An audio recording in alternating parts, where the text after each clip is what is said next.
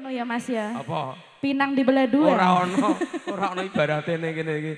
Kita bermain bareng bersama Rama Music.